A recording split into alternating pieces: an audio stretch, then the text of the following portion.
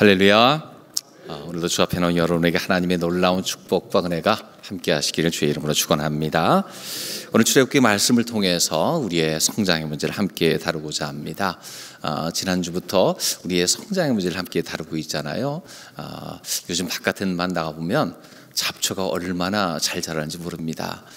아, 정작 자라야 될 것들은 안 자라고 잡초만 자라는 것 같아가지고 그걸 보면서 그 생각을 해요. 우리의 삶에도 늘 주님께서 원하시는 균형 있는 성장이 있어야 되는데 참 그것이 잘 안 된다 그런 생각을 해보게 됩니다.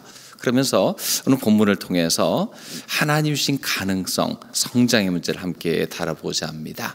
어, 성장도 여러 영역의 성장이 있는데 특별히 사역의 성장, 즉 하나님이 맡기신 일에 어떻게 하면 주님 원하시는 성장을 이룰 것인가 함께 나눠보고자 합니다.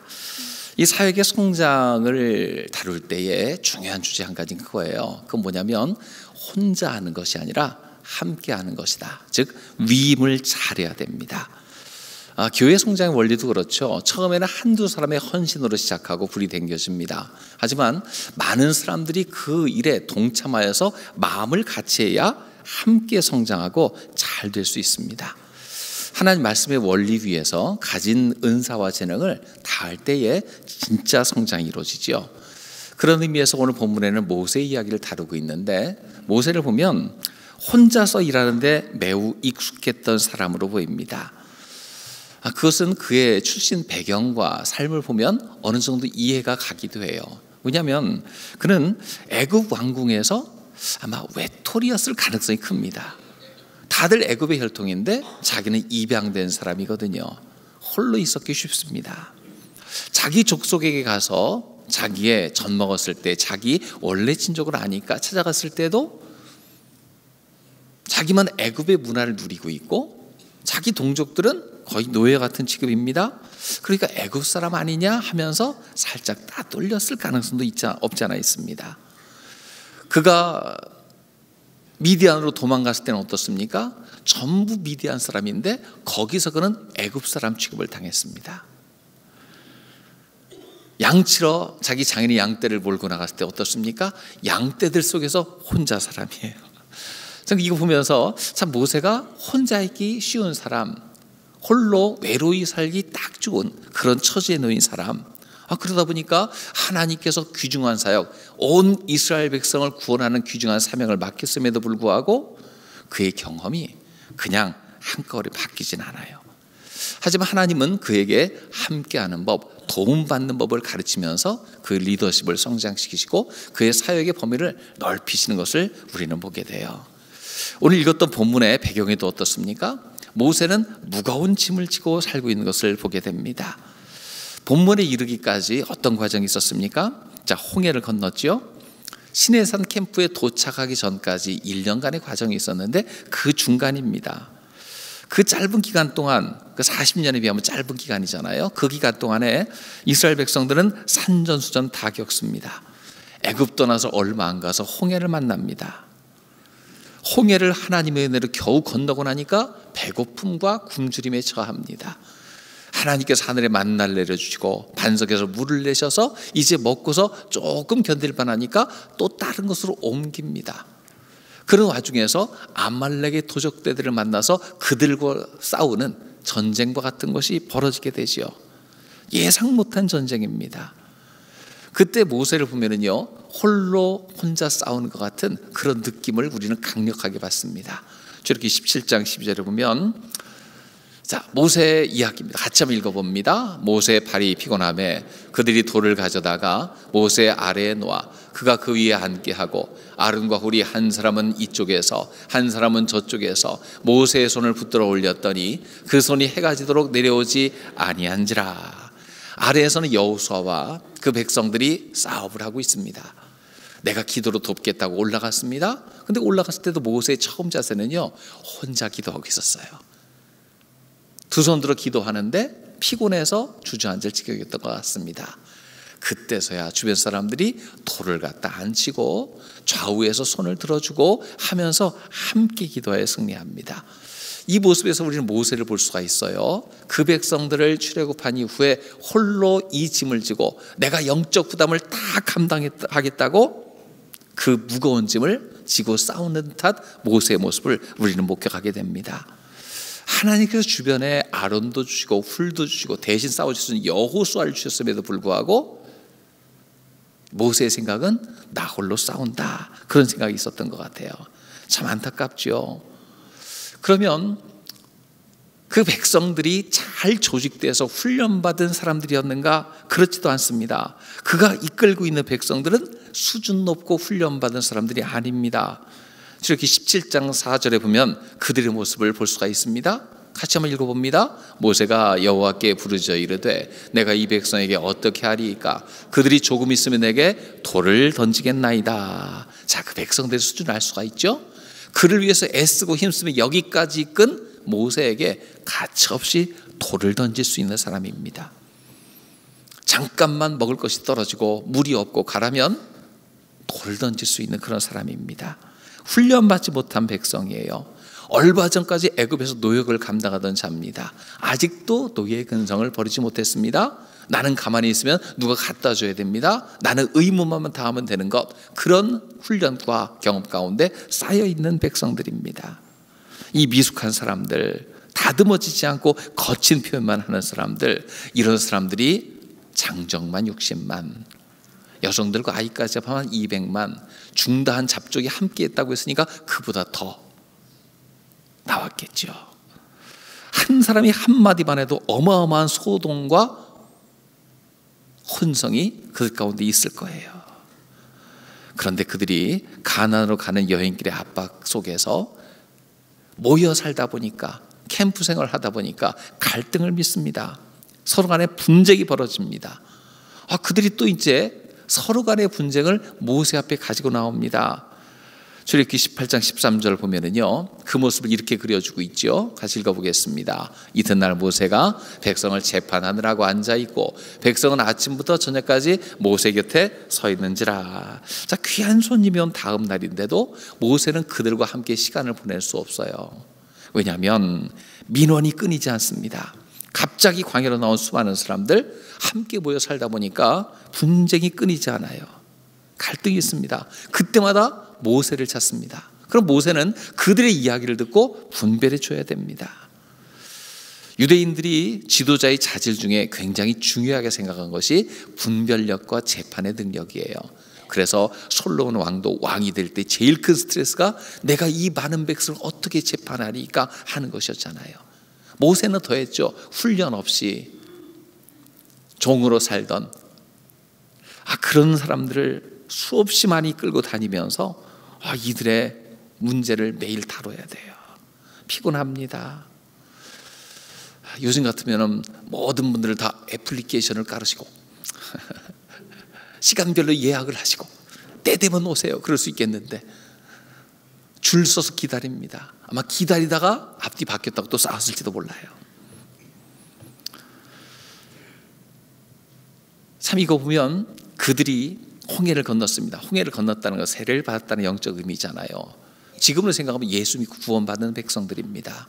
근데 구원받았다고 해서 그들의 삶이 나아집니까? 저절로 잘 됩니까? 그냥 만사형도 문제 다 해결 그렇게 됩니까? 예수 믿고 하나님의 자녀가 되어 살면서도 우리 앞에 늘 문제가 닥쳐요. 분쟁이 생깁니다. 해결 안 되는 문제들이 내 앞에 다가옵니다. 근데 이때에 우리 반응이 참 중요해요. 예수 믿어도 내 인생 문제가 해결도 안 되고 믿으나 마나 그렇게 생각할 것이 아닙니다. 여러분 그 문제를 짐으로만 생각할 것이 아니라 하나님께서 내 삶에 걸림돌을 던져 주신 것은 그것을 잘 해결하여 나를 성장시키기 위한 하나님의 계획인 줄로 믿으시기 바랍니다. 그 문제를 잘 극복하면요 리더십이 향상되고 백성들의 수준도 올라갑니다. 내 인생에 문제가 생겼습니까? 문제는 나를 넘어뜨리기 위해서가 아니라 나를 세우기 위해 주신 줄로 믿습니다. 그 문제를 잘 해결하고 나면요, 큰 성장이 있어요. 예수 믿은 후에도요, 문제는 생깁니다. 병도 걸립니다. 갈등도 생깁니다. 하지만 중요한 것은 무엇입니까? 예전엔 나 혼자 감당했다면 이제 나와 함께 하시는 주님이 계심을 믿으시길 주의 이름으로 축원합니다. 주님이 함께 하신다는 거예요. 얼마나 큰 차이가 있습니까? 자, 모세도 이 짐을 지고 가는데 하나님은 그를 도우시기로 작정하셨습니다. 자, 모세의 스타일 보면은요, 우직하게 자기 혼자 감당하는 사람이에요. 목동 출신입니다. 양들이 문제를 일으킵니다. 그러면은 지팡이와 막대기, 물맷돌을 가지고 짐승도 쳐 죽이고 자기 하나하나 이끌면서 그 역할을 감당했을 거예요. 그런데 지금은 양들이 아닙니다. 사람들입니다. 지금까지 큰 문제 생겼을 때 하나님이 기적을 경험했잖아요. 전쟁의 위기, 또 민족이 몰살당한 그 추적자의 위기, 식량이 없었을 때 하나님 앞에 기도하여 기적을 일으켰잖아요. 근데 지금은 또 다른 문제입니다. 이제 한 사람 한 사람이 자기의 작은 문제를 갖고 계속 줄을 이어 다가옵니다. 기도하면 해결해 줬을 거예요. 끝이 없습니다. 매일 반복됩니다. 이런 것이 계속 반복되면요, 이 스트레스와 이 받은 것 때문에 건강 유지도 마음의 문제도 생길 수가 있어요. 근데 하나님이 그때 그에게 귀한 사람을 보내주십니다. 손님이 찾아오죠. 이렇게 18장 5절에 보면요. 그 손님을 이렇게 얘기하고 있습니다. 같이 읽어보겠습니다. 모세의 장인이 이들어가 모세의 아들들과 그의 아내와 더불어 광야에 들어와 모세에게 이르니 곧 모세가 하나님의 산에 진친 곳이라 장인이 옵니다. 누구와 함께? 아내와 아이들과 함께. 자, 성경에 모든 것이 다 기록된 건 아니잖아요. 모세가 애굽으로 돌아갈 때에 아내와 아이들과 함께 돌아갔습니다.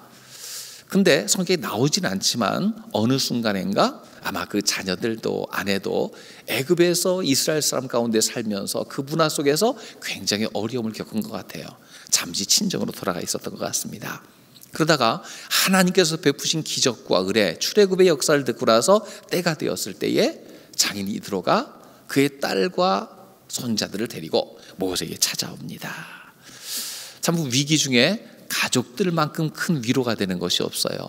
가족들이 하나가 되어서 한 마음 되어서 서로를 위로할 때에 어려움을 잘 이겨내는 복된 가정 되시길 주의 이름으로 축원합니다.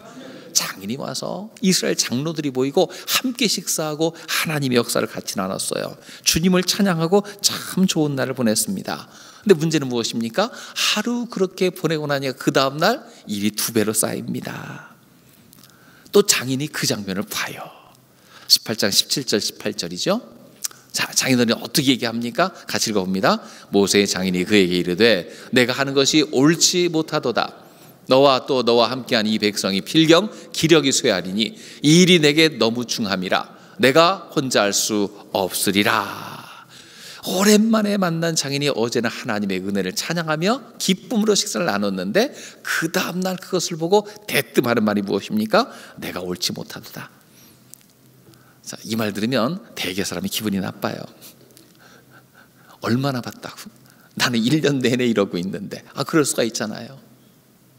내가 옳지 못하도다. 잘못하고 있다는 거예요.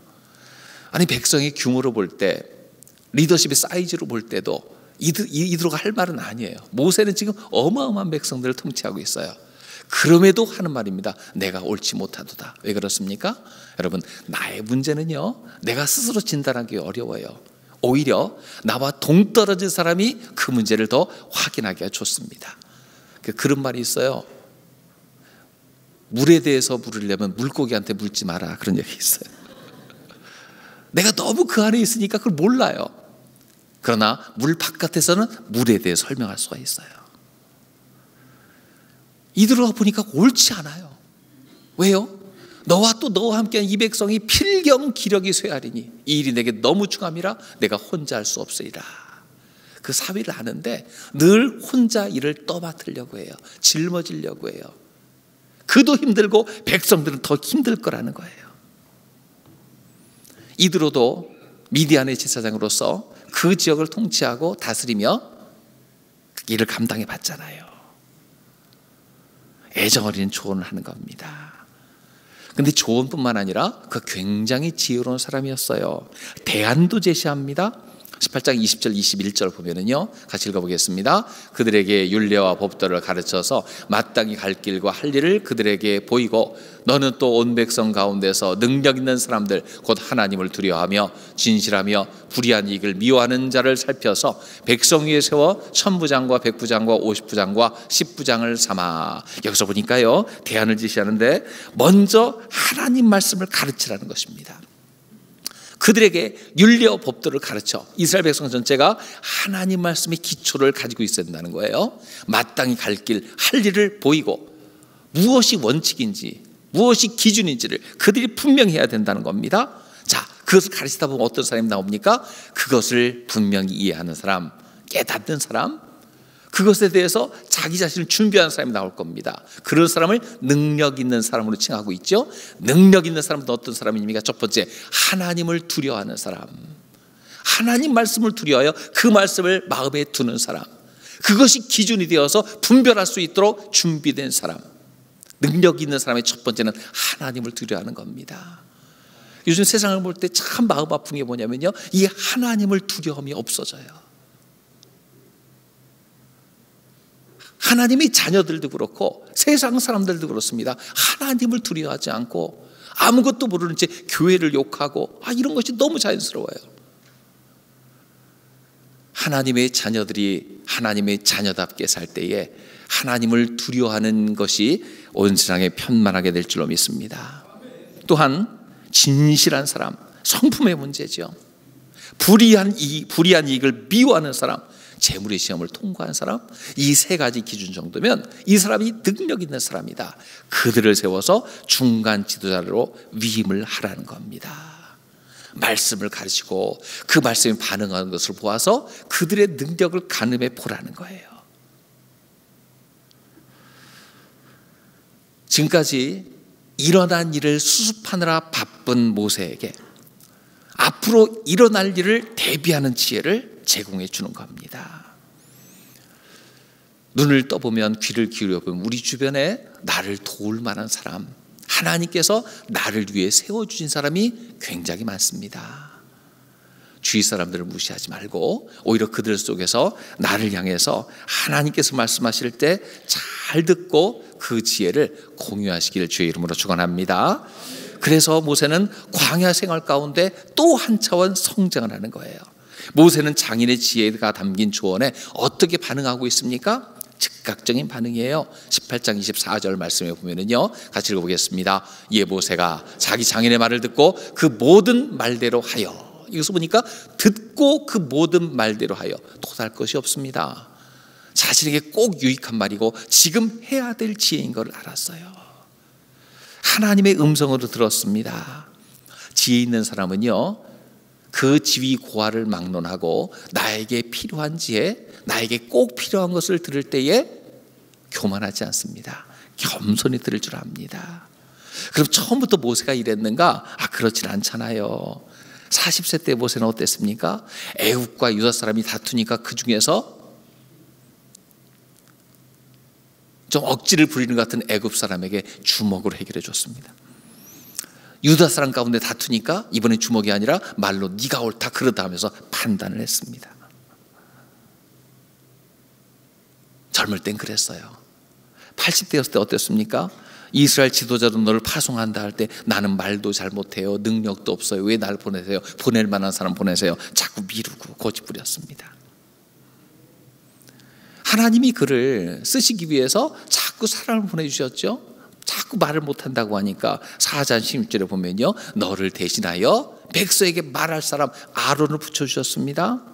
동역자를 붙여주시고 그와 함께 동역하도록 길을 일러주셨습니다.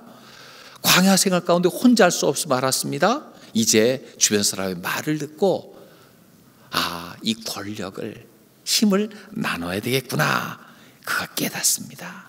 그리고 반응하는 거예요. 18장 25절에 보면 그의 행동이 이렇게 묘사되어 있죠. 이스라엘 무리 중에 능력 있는 사람들을 택하여 그들을 백성의 우두머리 천부장, 백부장, 오십부장, 십부장을 삼음해. 그 시내산 떨기나무 아래에서 하나님의 부름에 자신의 인생을 내려놓고 순종했다면 이제 광야 생활 가운데 무거운 짐 앞에서 자기의 권력과 권한도 내려놓고 하나님 앞에 순종하기 시작합니다. 참 살면서 참 실천하기 어려운 것이 자기에게 주어진 것을 내려놓는 거예요. 버리는 거예요. 이게 참 쉽지 않습니다.